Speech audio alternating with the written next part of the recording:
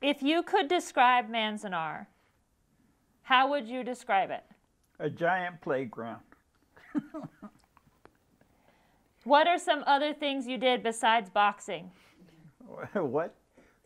Play in the big garden they had, okay? And we, me and a guy named Arthur Tetsui, we we used to play at the park, and we used to go fishing with with breadcrumbs and what have you. We used to go fishing, and they told us not to do that. He said the fishes are there for a reason. I wonder, would you describe what it looked like to us?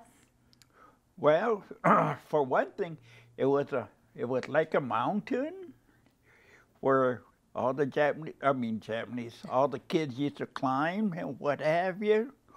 Uh, I don't know what else I could tell you about it. I know they had waterfalls and stuff in it.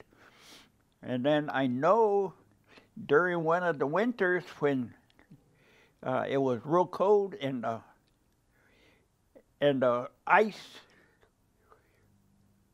went into the, almost like a lake or what have you. Okay, it's like a skating. That a little boy got under and started to skate around, and the ice broke and he went under. And uh, and thank goodness there was older kids around that pulled him out. But uh, beyond that, uh, it was nothing but a big playground. Wow. How how big was this pond, do you think? It wasn't very big because the older kids would get into it, you know, walk around and what have you. The younger kids couldn't because if they went into the pond, they would go underneath. So Did it have any bridges? it had one bridge, and that's where we fished from. Two bridges came together like this, and uh, I think we could jump across it, which must have been about three three feet or something like that. But we we used to lay in it, okay, or lay on top of the stone that was like this, and we used to fish from there.